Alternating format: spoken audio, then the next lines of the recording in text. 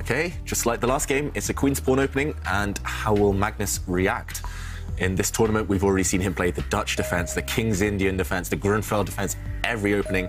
And uh, now, okay, it's a Queen's Gambit. Maybe the Netflix show uh, inspiring the two players. Will we see the Queen's Gambit accepted, which means black capturing this white pawn that's just moved, taking the gambited pawn? But no, the Gambit is declined, and Magnus goes for the Slav. Laughing, meanwhile. Uh, this time, not laughing about falling asleep, laughing about something else clearly, but this is known as one of the most solid openings in chess. Black just puts pawns on light squares, blocks things up, and uh, tries to stay solid. So, okay, right now, Duda has got to decide whether to trade pawns in the center, bring his knight out, push a pawn. This is uh, a line I think we call the slow Slav, uh, just because things will take a while to open up later. Yeah, I was just about to say this. I, I, I haven't It's- seen him playing the real Slav. I, I think usually he goes for the. Yeah, it, it's a it's a clever move order that has actually been advocated by um, Sam Shankland in his Yeah. chessable course. I'm not quite sure it's a slow Slav, but uh, um, but anyway, the whole point is that you don't have to deal with pawn takes pawn, and uh, just a nice kind of uh, move order trick. And uh, Magnus actually choosing the queen, developing the queen, which is a solid, and uh, White is just going for a slightly better position. Yep, Duda developing the queen there, and Magnus reacting by pushing a pawn. He's getting ready to develop Black's light squared bishop, which is actually the problem child in this type of opening. Yeah, look at the Black light squared bishop; it's actually blocked in by its own knight previously by a pawn, so now it's created.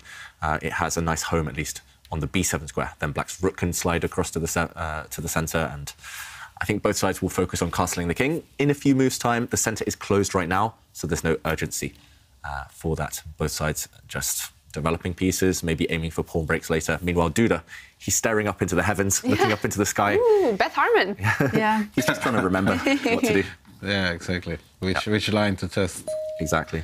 No, So, but it's, it's gonna be like that. You know, they're gonna castle and, and develop and, and uh, some rooks to the to the same file as the queen, pointing at the queen. You know, you have seen this game before. Yeah. You've Yeah. probably even played it. I've played something very similar. To this. Me too. White's rook will go, yeah, White's rook will go opposite the black queen, black's rook will go opposite the white queen, and there's just a bit of a standoff. Yeah. Yeah, yeah. And uh, White's dark square bishop will find itself on the edge of the board on the b2 square. And uh, we, we did.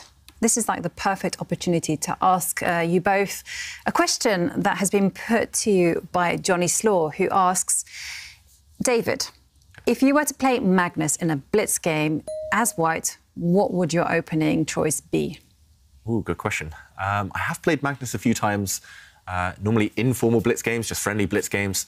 And uh, I've tried two different strategies. One is the Reti opening, just kind of solidly getting out, surviving the opening, and trying to take the game quickly uh, towards the middle game. But um, I've had slightly more success maybe by opening with the King's Pawn and being very direct, something like the Scotch game. But the problem is, against Magnus, no matter what opening you choose, at some point he tends to outplay you. So, um, yeah, it's it's a tricky one. I think that's the hardest uh, hardest kind of matchup in chess, playing Magnus and Blitz. How about you, Pontus? Uh, I would definitely go with the king's pawn. You know. Um, Why? Because no, because the best chance for me is to attack him. Uh, or that he falls asleep. Like. you see, there is again. Is it sleep or is it laugh? Yeah. You're like a Well- hypnotist. Pontus. Every time you t- say the word sleep, Magnus just his head goes down. yeah, no, no, but I, I would definitely go for the attack, you know, because that's the, the best chance to win. Even from the get go. Yeah, you, you have to you have to try Especially to in attack blitz, him. right? Yeah, because it's also you have to also go on your own strong points. Yeah. Uh, because uh, what a lot of players do as a mistake is that they try to just uh, you know oh I am playing Magnus. I remember Prague was playing uh, one one time and he he fell into thoughts after like three moves, you know, and then he fought like for one hour. And that's just respect or something like this that is thinking, you know. He, he doesn't really think about moves. It's just respect. Oh, and then after, you know, 15, 20 minutes, oh, I can't play that. I can't play that. Oh, and, and, Yeah. and so you have to believe in your play, you know, and attack him. And usually the guys who are having the best scores are actually those guys that are not afraid of him. Yeah, incidentally, I've been uh, this morning. I was watching the course that I was talking about yesterday by uh, for for Chess 24 Premium members. Uh, it's won by Spanish Grandmaster yeah, yeah, Ivan yeah. Salgado Lopez, and Was I that went. the swindler? No, this was the one that, uh, No, that he, he talks about. Yeah. He talks about um, playing like Magnus in Ah, Rapid and yeah, Blitz, yeah. but he has a chapter on how to beat Magnus, how to play against him. And uh, there he, he says, um, more or less like you guys, that uh, you should play the best moves, which is easier said than done, but uh, you should actually aim for positional advantages. Because uh, this is something that Magnus is so good at that he will f- himself feel discomfort.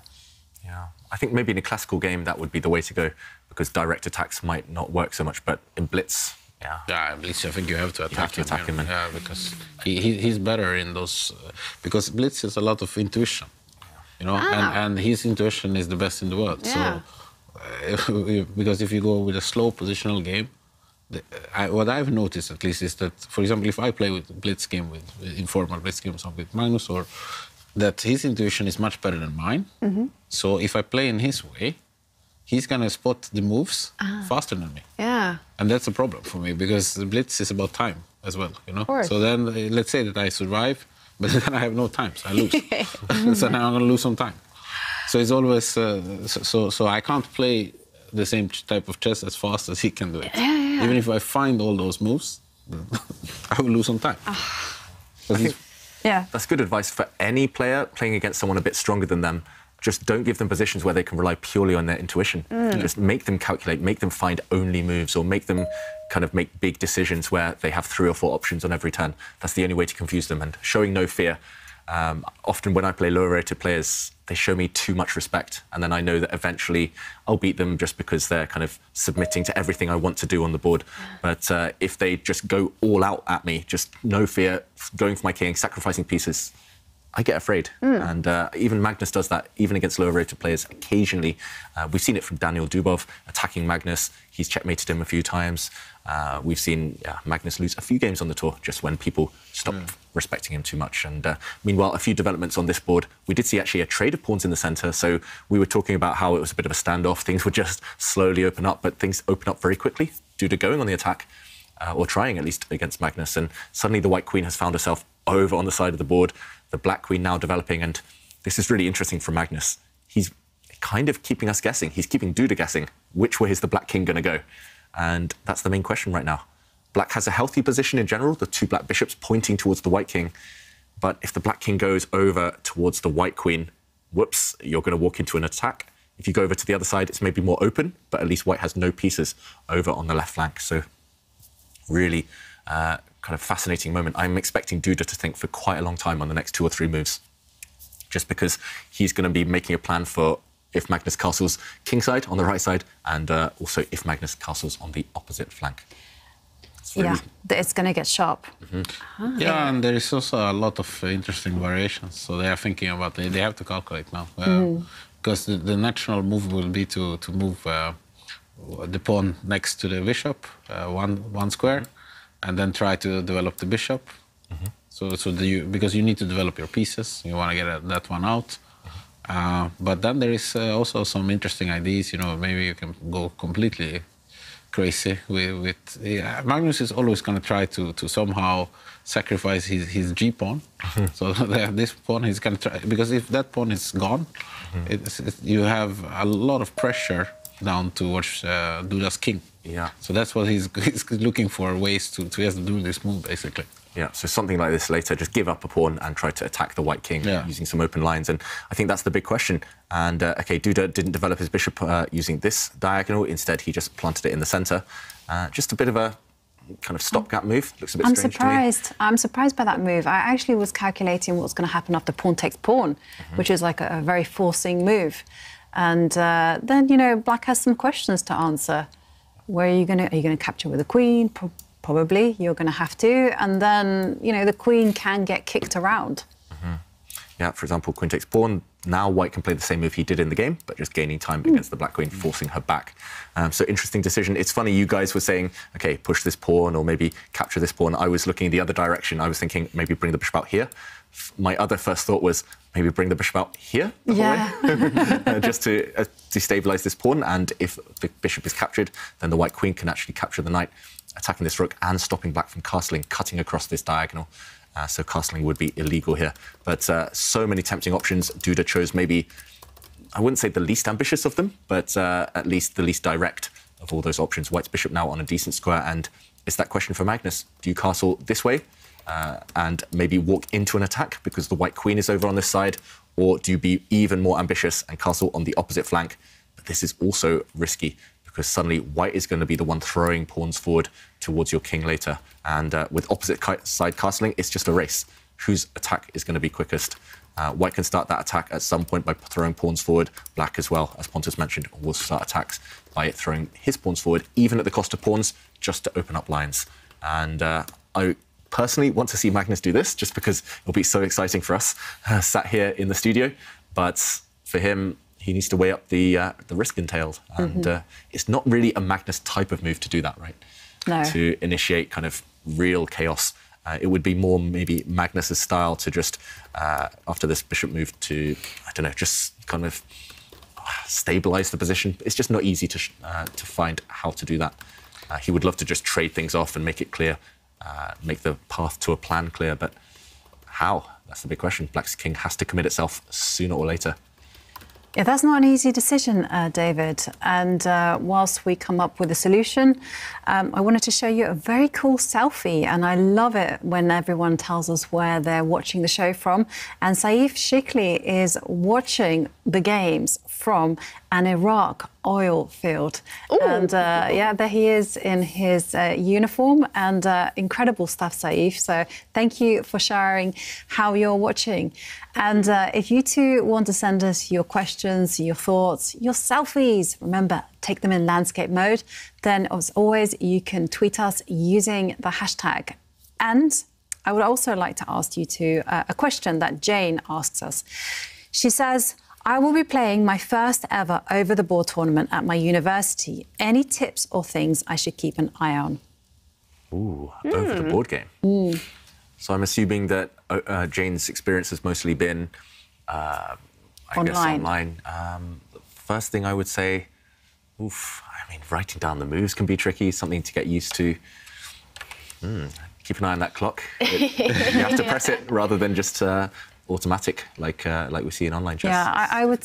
I would say after every move, if you have the time, I would try and do a quick scan of the board and blunder check. Just make sure that nothing is going to attack it. And uh, just ask yourself, you know, is this trade good? Is what I'm making good? And uh, think about what your opponent wants to do. And if you can, stop it. Uh, just yeah. visually, it looks different, right? A physical board compared to the online yeah, screen. So definitely double check things. Big difference, you know, 2D and 3D. Yeah. So this is this is the thing that she needs to before the tournament. She should play also some game with some friend or something. Mm. Yes, to, to get used to the difference because one of the biggest difference there is David said with time that you basically online you can make quite a lot of moves in no time. You know, mm -hmm. you can even use this pre-move function, so you can make like ten moves in a in a second. when you play live, you can really not do that. Yeah. So the time is actually a factor, and this is something that if you have played online a lot, uh, this is going to be a shock when you yeah. get to a real tournament. And, and one other thing I just thought about uh, when you're playing online chess, you can kind of hover your mouse over every single piece. You can even click on it and make, try to make a move. On over the board chess, you cannot do that. Yeah. If you touch a piece, you have to move it. Exactly. So uh, always good, good idea to. Yeah. So you can't change your move, for example. No. Uh, which you can do online. You know, you can hover over a piece and then you change to another one. Yeah.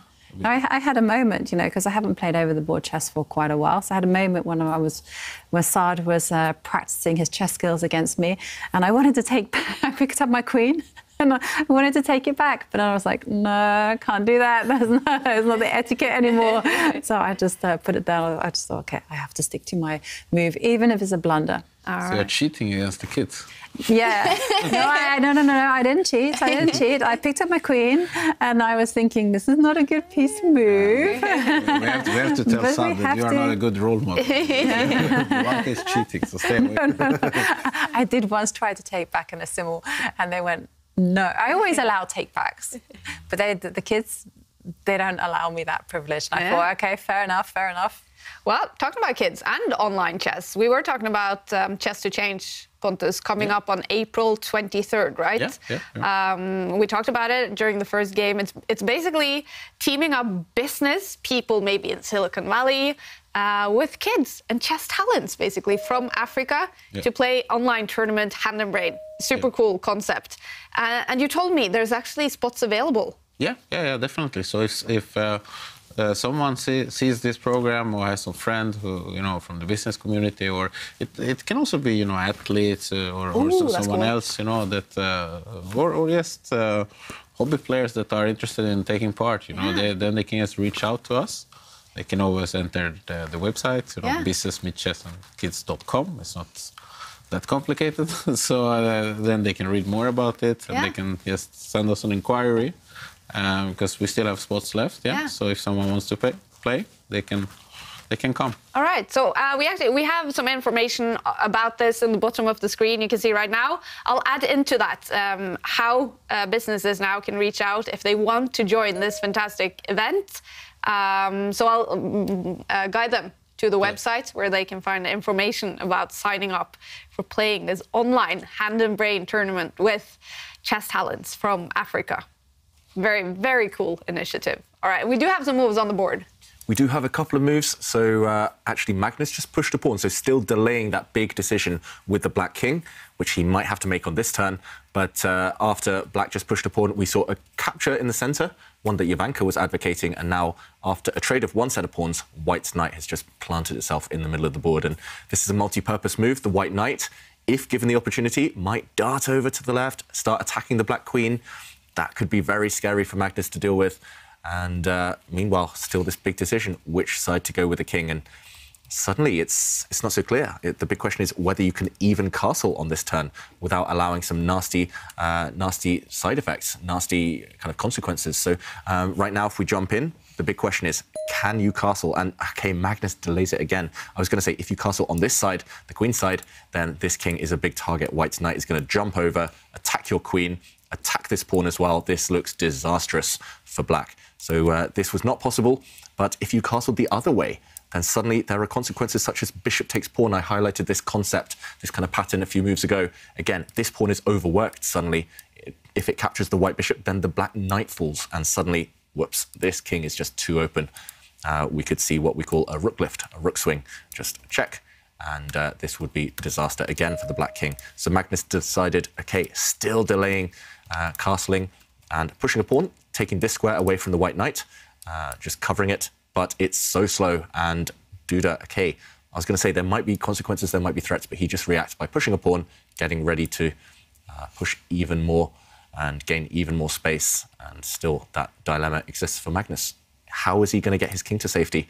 Neither side looks safe, and uh, the longer you leave it here, the more risk you entail. So, oof, I'm not envious here of Magnus at all. I think it's not his type of position. He's going to get attacked no matter what. And as Pontus said, that's a decent strategy against the best players in the world. Just attack them fearless, fearlessly, and even they do get nervous sometimes. Yeah. Um, one of the things I kind of wanted to say though is that Duda's last move seems to me, I, I know it is actually threatening to push the pawn forward and attack the bishop, chase it away, but it does feel like it's a little bit slow.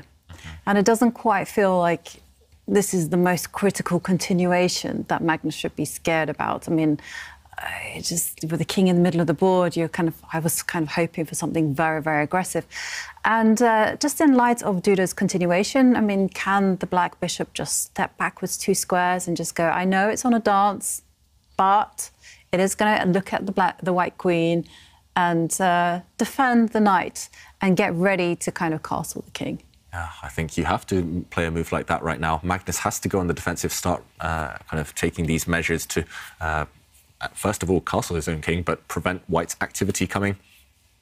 Yeah, Jovanka, it's interesting you say that that move is slow. That was my first instinct too. Uh, it felt like White maybe could have thought uh, a bit longer, gone for something a bit more direct.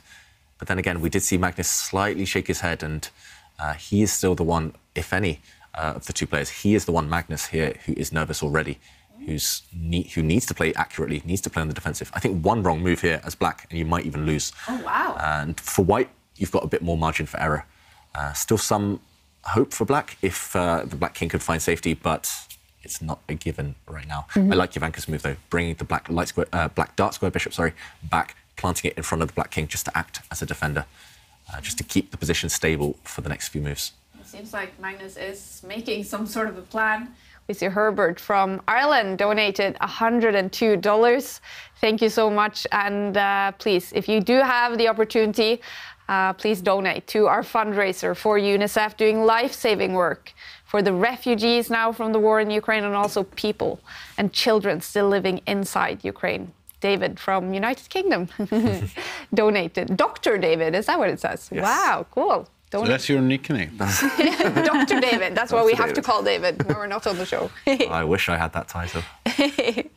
yeah, thank you so much, everyone, for um, participating in this important fundraiser. And uh, after this game, we're going to have another charity challenge. It's actually going to be with 15 year old Saad, who is a big chess talent, 2000 uh, on the rating list in classical chess. And you know Saad. Uh, Pontus, he's actually from the Business Meets Chess and Kids uh, program, basically. Yeah. What is his story? Well, uh, his story is uh, basically that uh, he has parents from uh, Somalia, and uh, they, they, of course, immigrated to, to Norway. Um, so, uh, yeah, there, there is always, I I shouldn't say always, but there is a lot of times there is some challenges when you come to a new country and so on. You know, Yeah. and when they try to establish, uh, to get integrated, to get to know, you know, local people, Norwegian uh, people, and so No on. So, doubt. so Saad, uh, for example, he has. Uh, he, he picked up chess at some point and he started to play and there was uh, his chess club Bærum has helped him a lot throughout the years as, as well That's great. and then um, we came in contact with him and his also his brothers uh, Abdi Shakur and Abdi Rizek they also play Oh, cool.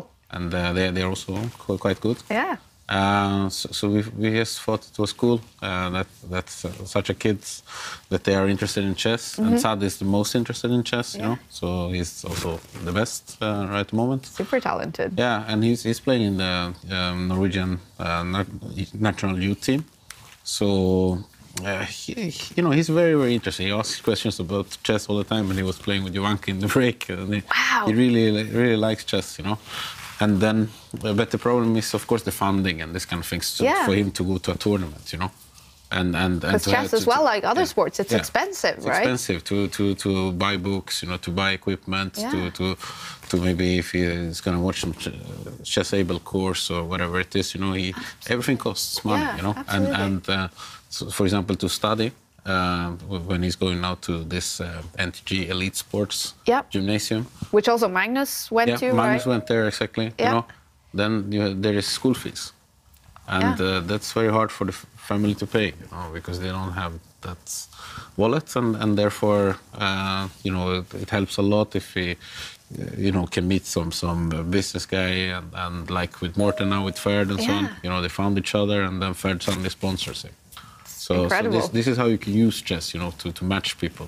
And now we, I mean, I've been uh, watching him play today uh, before the show. He has a future in chess. There is no doubt about it. It's a great story. And oh, I'm looking forward to seeing him play in the chess. How many moves do you think he can last against Magnus 10 with two minutes on the clock?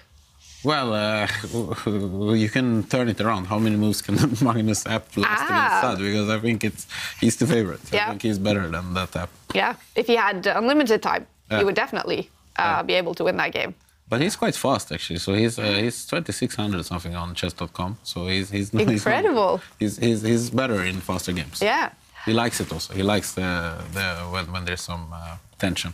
Ah, He's going to be our youngest uh, participant ever in uh, the charity challenge, uh, Young Saad, and that's coming after this game. I bet his idol is uh, Magnus Carlsen. And uh, is he fighting to survive in this game, Magnus, now? Still, I would say yes. If you look at all of White's pieces, they're mobilized. Okay, uh, really interesting castling now with Black. All of White's pieces are mobilized. Two White rooks teaming up, black, the White bishops in the uh, in the middle of the board, kind of with that gaze focused on both sides. The White Queen nicely placed for an attack. White's centralized knight. They're all fantastic. I was about to say Magnus, his king situation was still uh, not ideal, but he has decided to castle, and I think he's banking on some tricks here. He definitely is, because my first instinct was like, wow, he's allowing that trick that David pointed out. Bishop takes pawn, and uh, suddenly the knight on f6 is a little bit unstable because pawn takes bishop isn't really possible because the queen takes knight and the king is just too shaky.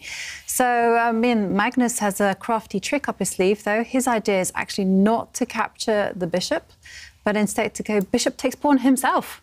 Quite possibly, yeah. Bishop takes pawn would be a check. And after the white queen recaptures, then after we see a trade here, we could see black recapturing the white bishop. Here, I still prefer white, to be honest, because black has an isolated pawn. White has a potential passed pawn over here as well. But uh, maybe this is what Magnus is relying on.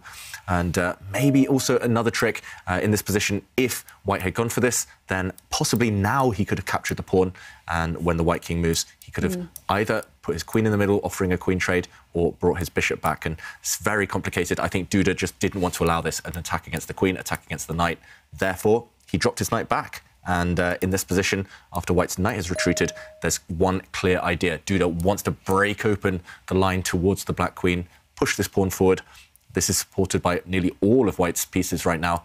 And uh, Magnus reacted very quickly by bringing his yeah. bishop to the centre. It's something we saw Duda do actually in the first game, planting the bishop in the middle of the board, and now just trying to trade off pieces before it's too late. Note how, as well, this bishop defending the black knight. So that trick we highlighted uh, of the white bishop taking a pawn is no longer on the cards. Black's pieces all defending each other. And uh, what do we think?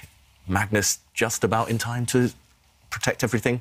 It feels like he was really playing with fire with his king, but now he's castled. Now he's at least ready, if needed, to trade some pieces. I think well, Magnus is okay again. Well, he's up uh, a bit on time as well, yeah. So, but also I think Magnus is a really good defender. You know? Yeah. yeah. He, he uh, I've seen him play this uh, bullet and blitz or whatever it is against Naka. And I was, uh, I, am rarely extremely impressed by by something, but those games are very impressive because they play on only one minute and and and it's just seconds, you know and the, the defend, he defends so well. The quality then, is there. Yeah, the quality is very high, and yeah. also many times he defends so well. Then usually Naka is the one who's losing the games because he gets angry and frustrated, and then he has blunders something, and, and Magnus wins. And I, because Magnus has sometimes, you know, 20 moves, he needs to play the only move, and he does it. It's and incredible. I, and I remember there was also something with chess.com that he, uh, they, because they have this uh, cheating sensor and it actually was screaming the first time Magnus was playing. He was a cheater, cheater, because he hit too high percentage yeah. of the moves of the computer, the first move. Yeah, we let's jump into the position because Duda's thinking a long time and he's under four minutes right now, and uh, he has a huge Ooh. decision to make because he has to do something. He has to go on the attack. I think it's time either to push this pawn forward as he was planning to do, or maybe even just come back with his knight to the centre. Because what else? Suddenly you don't want to trade off the rooks. If all the rooks disappear, for example, if white initiates these trades, then black is actually going to have the better pieces. Black's queen now is going to, firstly, maybe start threatening some checkmating ideas. Maybe the black queen as well can jump to the center, attacking white's bishop. Note how the white queen is suddenly offside, not helping, and uh, white would be in huge trouble. And we're actually seeing something very similar to this. I mentioned the knight maybe coming back to plug the open file to stop any exchanges of the rooks. Instead, white pushed forward and Magnus instantly trying to put pressure now on Duda on the clock, traded a set of rooks, and uh, if Duda recaptures, then Magnus will do the same. He will just offer this trade of rooks, trying to break through towards this white king. We talk about it all the time. The white king lacking breathing space, lacking luft, uh, lacking an escape square, and uh, back rank tactics against this king might continue. Uh, we could see a line just to show one variation, maybe, uh, for example, if white captures a pawn, gets greedy, then we would see a trade of rooks and black's queen now just breaking through. The white queen not able to help out.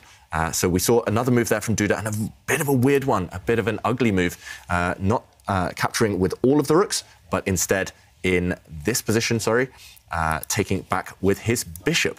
And the reason I say ugly is because this bishop on the first rank could be a target. The black rook sliding across, and look at this. There's a massive trap in the position if white plays the most greedy move and plays pawn takes pawn, it looks like white's winning a pawn, attacking the black queen with a pawn, attacking with a rook as well, then suddenly Magnus would win with a queen sacrifice. Queen takes rook, eliminating the only defender of white's bishop, and after the queen is recaptured, this is the exact tactic, uh, tactic I was talking about. Mm. This is checkmate, back rank checkmate, no escape square for the white king. And uh, this is actually on the cards right now. Duda doesn't fall into that trap. The bishop was a target. Pawn takes pawn would have lost on the spot, as we just saw. So he brings his bishop back to a square. It cannot be targeted. But things are turning in Magnus's favour. This white queen now just offside. And uh, I expect Magnus here maybe to just to block things up. And uh, the game goes on, but white is playing temporarily without the queen. And OK, he does this. He blocks things up. and he's the only one with control over the open file now. The bar is liking it for the world champion right now. Yeah, and uh, Duda, you know, many people will be asking what's happening here because uh, he just pushed forward his protected pass pawn, the most amazing pawn there oh, is. And what happens here? And he's just offered it up for grabs. I think Magnus actually kind of trusted Duda's bluff on the last turn. Duda pushed a pawn forward, attacking Black's bishop.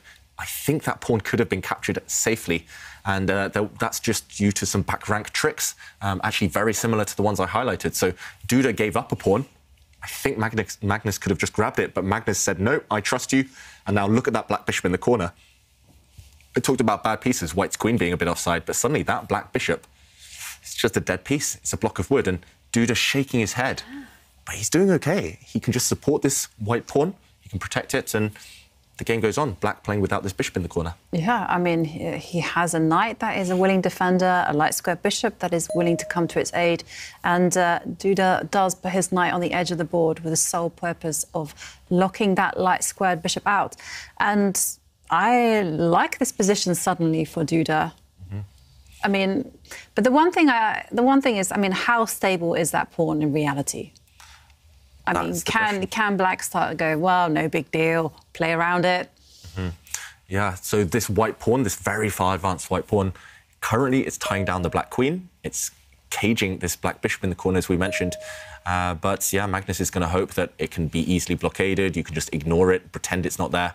Uh, the Black Knight jumping into the centre, and actually maybe it's more important that the White Queen is just not coordinated with the rest of her army. And after this bishop move, it would be super tempting now, if I were Magnus, to use the Black Knight, capture White's dark square bishop, and suddenly White is... There we go. we saw that trade very quickly there from Magnus, and suddenly the Black Queen can start threatening this isolated White pawn in the centre of the board, the one that has just recaptured. Suddenly mm. White's really weak on the dark squares. The Rook jumps in instead, attacking two pawns now. And I mentioned things were turning in Duda's favour, but now that Black has complete grip on the dark squares, I think it's actually the other way around. Duda shaking his head as well, and lower on the clock. Definitely. Yeah, suddenly, I mean, this is still very tense. It could go either way, but suddenly maybe Magnus is the happier of the two. And uh, the White Knight, I mean, which piece is worse here, guys? The White Knight on the edge of the board or that Black Bishop in the corner? It's not clear, actually. Maybe they just balance each other out. Yeah, maybe what's needed is uh, maybe for White just to kind of roll the dice and try to bring the queen into the game, even at the cost of some extra material. And uh, the, just bank on the fact that this pass pawn needs to be pushed, can find a way to kind of try to dis dislodge the black queen. Yeah, the only problem not for White, easy though. Yeah, White's queen now she is kind of tied down to the h2 pawn, the uh, the White's pawn on the h2 square. If you look at Black's uh, bishop in the centre and the black queen, they're eyeing up this pawn on the diagonal. Uh, so White's queen temporarily tied down Duda looks really unhappy, meanwhile. Just psychologically, I think he's uh, just struggling to adapt to this kind of transition of black suddenly getting active uh, with his rook. And Pontus, does it look to you that white's lost control? Yeah, I think it's totally mm. lost control. Yeah. Wow, uh, totally lost control as yeah, well. Yeah, yeah, yeah. because he also lost control over the clock. Ah. so I think... 40 uh, seconds, yeah. Yeah. Uh, he's, he's, he's in a big problems.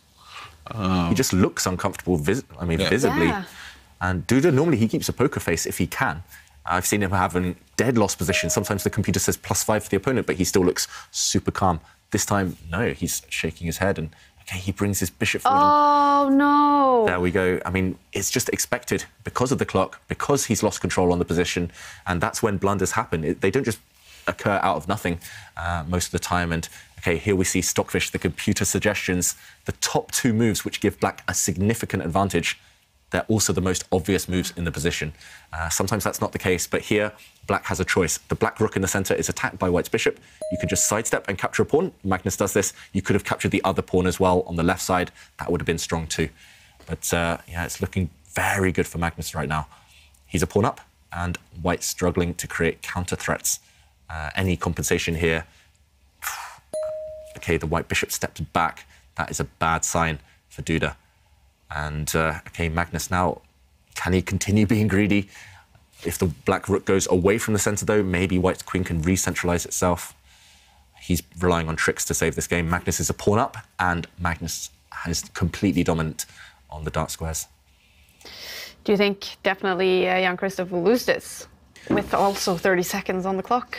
It's looking likely, but I mean, the win isn't clear cut, right? Hmm. I mean, some hard Magnus still has to work, uh, work, put some, put in some effort and try and find it. It all depends on White's far advanced pawn, actually. If it can ever kind of, if you can ever dislodge the black queen and push that pawn, you might even win with White. But uh, for now, that White pawn is under lock and key, and yeah, I mean, just okay. Magnus does get greedy, as I mentioned, and now two pawns up for Black. How do you break through on the dark squares? That's a problem. Okay, uh, White sidesteps with his rook. Huge threat in the position. White, I mentioned the back rank checkmates against the White king. Now Black's king is the one threatened. White's rook wants to step up to the top of the board, and that would actually end in checkmate because White's bishop covers the only escape square for the Black king. Magnus can deal with this, right? He can step back with his bishop, for example, the dark square bishop, block the white queen's diagonal. Yeah, and uh, unfortunately, that was uh, logical and very good. And now the queen, I guess, has to maybe threaten something, maybe move the queen to the edge of the, um, not to the mid edge of the board, to the middle of the board, and mm -hmm. at least threaten a check. Yeah, the white queen, as mentioned, needs to centralize herself. There we go. There was actually a huge threat, as Ivanka mentioned, the white queen and bishop lined up on the same diagonal, trying to sneak through to the black king. That's just been blocked by Magnus's last pawn push. Suddenly, black's king is super safe. And now here, I suggest, uh, when in doubt, push Harry. I mean, and the thing is that I kind of want to activate the rook, wow, but that's not really possible. But if you go into the corner, the, the issue still remains that the white king is potentially unsafe can be vulnerable to a rook coming down to the first row, and that would be something that uh, is called the back rank mate. Um, mm -hmm. Difficult, difficult job now. Yeah, and there was also one trick in the position. White rook wanted to come up to the seventh rank on the last go, but it would have just been captured. And uh, yeah, this one looking very one-sided traffic right now. Magnus, all he needs to do, bring the black rook into the game, back, and I can't even see a move for white at this point. No, he will stop on the c file and then it's over. Yeah, you're right, Pontus. Just. And then uh, he's going to step up with the king or something quite soon. Mm, yes. So I think this is. Uh, uh, it's not very good for for Duda. There's still some kind of tricks, you know. Maybe there's the possibility of white playing bishop takes pawn. So I like your move of just going, stepping up with the king, that's a very Magnus move, uh, stepping forward with the Black King, just covering everything, defending everything. But instead, Magnus grabs another pawn. He's actually three pawns up. And yeah. have we just seen Duda resign? I think we have. We Magnus have. takes the win. Wow. With the white pieces in game.